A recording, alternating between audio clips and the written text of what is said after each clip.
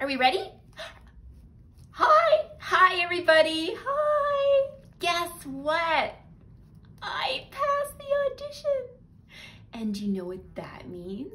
It means that I get to spend every Wednesday reading stories with you. I'm so excited, yay. Oh, okay, okay, okay.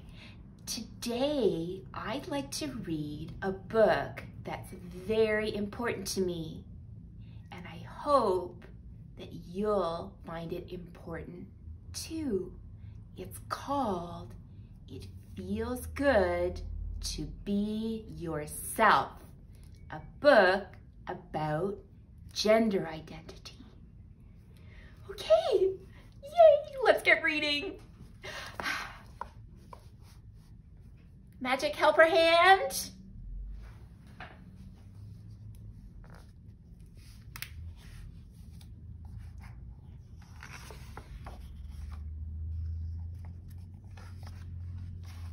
This is Ruthie.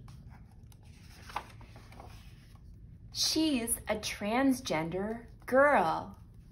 That means when she was born, everyone thought she was a boy until she grew a little older, old enough to tell everyone that she's actually a girl. Girl is Ruthie's gender identity. This is Ruthie's brother, Javier. Javier is a cisgender boy. That means when Javier was born, everyone thought he was a boy, and as he grew older, it turned out everyone was right. He is a boy. Boy is Javier's gender identity. There's so many different ways to be a boy or a girl. Too many to fit in a book. But not everyone feels like either a boy or a girl. Non-binary is a helpful word that can describe a kid who doesn't feel exactly like a boy or a girl. This is Ruthie's friend, Alex. Alex is both a boy and a girl. When Alex was born, everyone thought Alex was a girl, but Alex is both boy and girl. This is Alex's gender identity. This is Alex's friend JJ. JJ is neither a boy nor a girl. Ever since JJ was very little, they never felt exactly like a boy or a girl. They just felt like themselves. This is JJ's gender identity. Alex and JJ are both non-binary. Just like there are many different ways to be a boy or a girl, there are many different ways to be non-binary. Too many to fit in a book. Some kids don't feel exactly like a boy or a girl. They feel like neither. Some kids feel that their gender identity isn't always the same. It's often changing.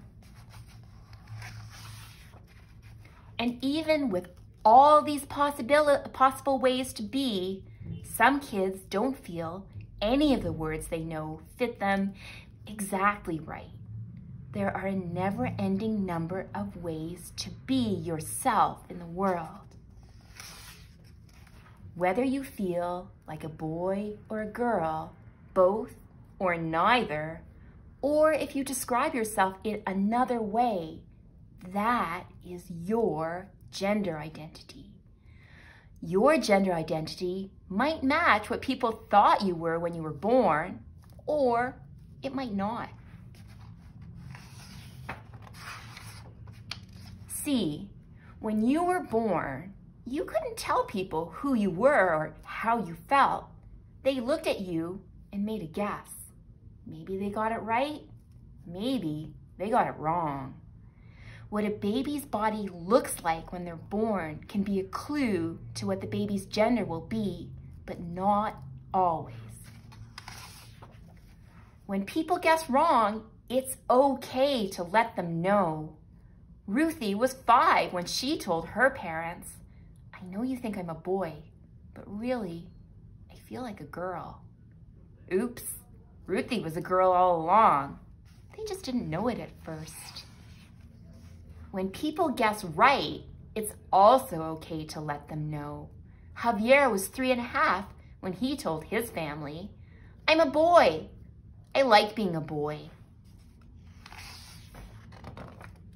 You might feel like, like a boy. You might feel like a girl. You might feel like both boy and girl, or like neither. You might feel like your gender changes from day to day or from year to year. You might feel that none of these words describes you perfectly. You might not be sure yet. Maybe you're still figuring it out.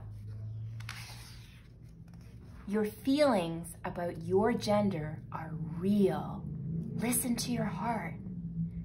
No matter what your gender identity is, you are okay exactly the way you are. And you are loved. It feels good to be yourself, doesn't it? Thank you so much, everybody, for sharing this special book with me. I'm so happy you could come. And remember, when we see each other next Wednesday, they, them pronouns, please. Bye, bye, bye.